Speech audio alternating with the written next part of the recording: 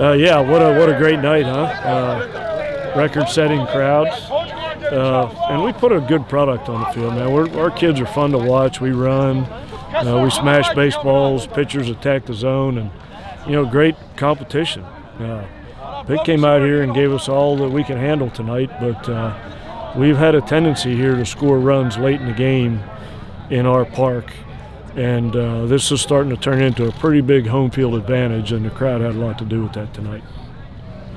Coach, was tonight a story of overcoming your own mistakes at, at, a, at a point? When you say your own mistakes, you talking about mine personally? No, the team's. Because I make a lot of them every game. I don't believe you, Coach. you know, they made three errors. I don't.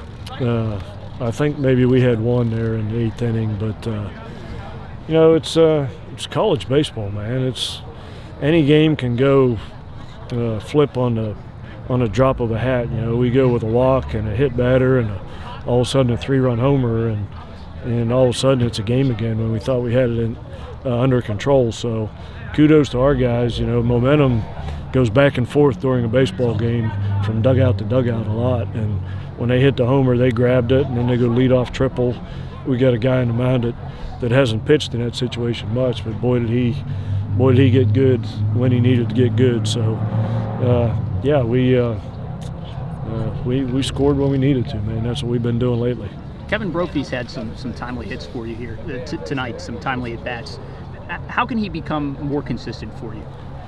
Man, that's that's the million dollar question, right? But uh, that, that's a great lesson for all young kids watching that uh, don't get caught up in your batting average, man. Batting average is the biggest confidence killer in the history of statistics. You know, you could, even if you're a great hitter, you're still making seven outs out of ten. You know, if you get caught up in your average, uh, you'll you'll never feel good about yourself. But I think he's still leading the team in RBIs, and he's come up really, really big for us in big situations just like that. That's not the first time he's done that.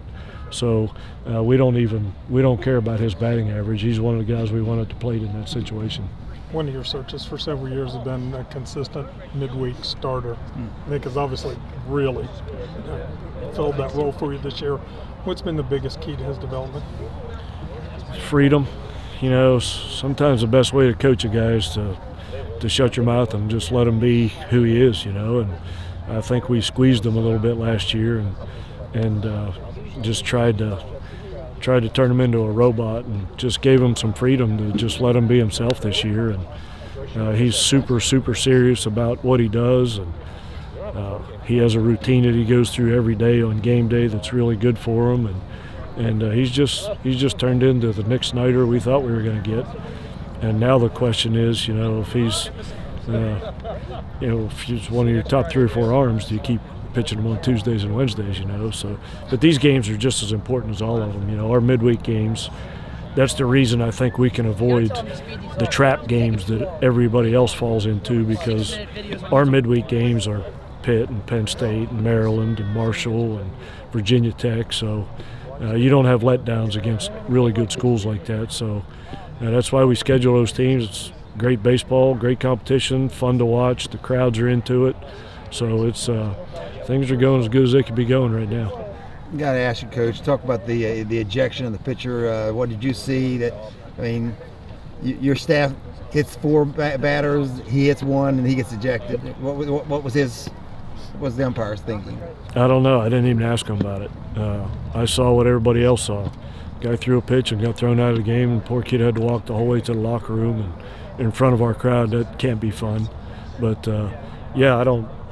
I don't it's hard enough to know what I'm thinking, let alone somebody else. So I don't even try and guess what other people are thinking. But there weren't any warnings given before that that you know of? That I know of, that's correct. Okay. Coach, you're one of the only teams who consistently plays Pitt now out of conference. Um, what was the momentum like before the game? Did you need to motivate the team any more than usual? I don't think so. When they saw the crowd filing in, you know, they knew it was going to be a big crowd and and uh, great energy. The weather was good. Uh, you don't have to get our guys up for this game at all. Same way you don't have to get their guys up. It was a it was a great game to watch. It's just a good college baseball game. There's some mistakes made, but good luck getting through a game without making mistakes uh, anytime. So uh, just a lot of fun to watch, man. It's I, I wish I could be a fan of Mountaineer baseball. I don't get that luxury. Uh, my heart races during these games way more than the fans, but if I was a fan, I sure would have enjoyed that game. You said with all the out-of-state kids on, on your roster that maybe some of them didn't know what to expect tonight. Do you think there's any question that they get it now? I think so. You know, I think uh, uh, it's pretty obvious after a game like that that uh, our whole community comes out and supports us, and the backyard brawl, that type of thing. They're starting to figure that out. You know, you don't have to tell them much. They're, it's pretty easy to see after a night like that. Coach, uh, you got series win over Oklahoma, a big win tonight, and then you got Oklahoma State and Texas Tech coming up. Is this team heating up at the right time? Yeah, I mean, you would think so, you know, but uh, as soon as you start feeling too good about yourself in this game, uh, it'll come back and haunt you every single time. So uh, you could win 12 in a row. If you feel like game number 13 is going to be easy, you're going to lose it. So there's nothing ever easy in the Big 12, and you go on the road, it makes it that much harder. So uh, we're going to feel good about this one for the next 10 or 15 minutes, but switch our focus right to the Cowboys down there in Stillwater.